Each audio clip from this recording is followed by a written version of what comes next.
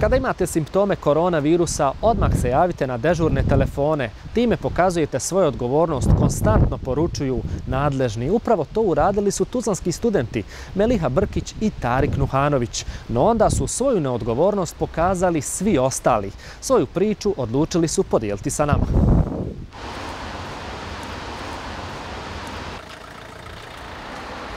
Cijeli petak od ujutro do, do, do bukvalno 11-12 na večer sam zvala i niko mi se nije javio.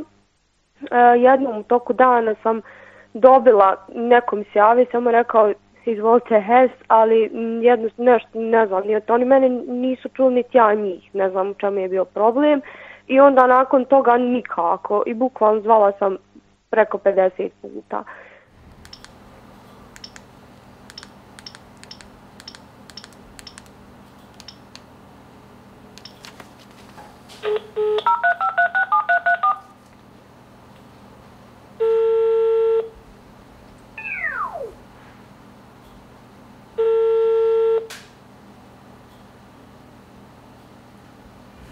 Budući da su i Meliha i Tarik studenti medicine koji već pet godina žive u Tuzli i da su se u normalnim okolnostima liječili u školskom dispanzeru Doma zdravlja Tuzla, poziv su uputili i ovoj službi, gdje su pričana Meliha dobili odgovor da ih ne mogu proknjižiti, te da se obrate svojim porodičnim ljekarima, no budući da je bio vikend, ni to nisu uspjeli.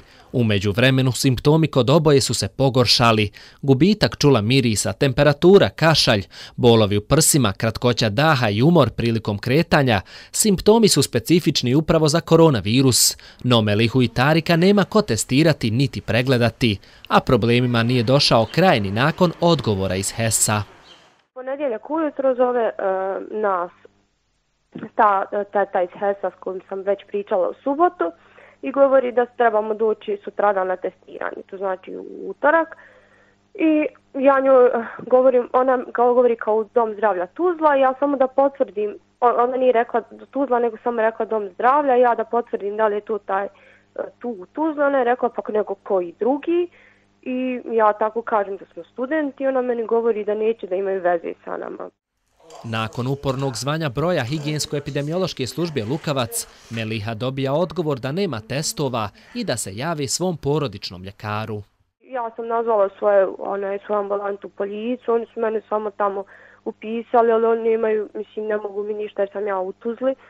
A ovaj, on, Tarik je zvao u Lukavac i tu je isto tako bilo neki komplikacija jer se javila neka sestra koja govori e, da je njegova doktorca na godišnjem i ovako šuti na telefon. I Tarkin govori, pa šta ću sad, ja sam bolestan, ona ide da zove neku sestru jer ne mogu sad da skontaju šta će oni sad jer je njegova doktorca na godišnjem. Meliha i Tarik još uvijek nisu pregledani. Terapiju su sami sebi uspostavili. Koriste antibiotike. Jedino rješenje Meliha je vidjela u tome da objavi status na Facebooku, te da ispriča svoju situaciju. Tek nakon javne ispovijesti uslijedila je reakcija. Ujutro se Tarik dobio telefonski poziv E, da će sutra ujutro da, do, da dođu iz Lukavca njega da testiraju, što ja pretpostavljam da je došao status do nekih ljudi jer smo juče bili odbijeni sa svih strana, a sad odjednom neko iz Lukavca može da dođe njega da testira. Ja u toj priči niko mene ni ne spominje, tako da nemam pojma. Sa ovim problemom upoznata je i ministrica zdravstva, koja je i na sastanku predstavnika svih zdravstvenih ustanova prije sedam dana ukazala na činjenicu da na pozive često nema odgovora. Što se tiče liječenja, zakon je jasno propisao procedure činjenica je da zakon predviđa da se studenti kao i sve druge osobe liječe na području e, grada, odnosno opštine, odnosno svog matičnog doma zdravlja iz kojeg dolaze, ali isto tako osigurana je i e, inače po redovnim programima e, zdravstvena zaštita studenta pri, e, na Čuvanskom kantonu pri domu zdravlja Tuzla.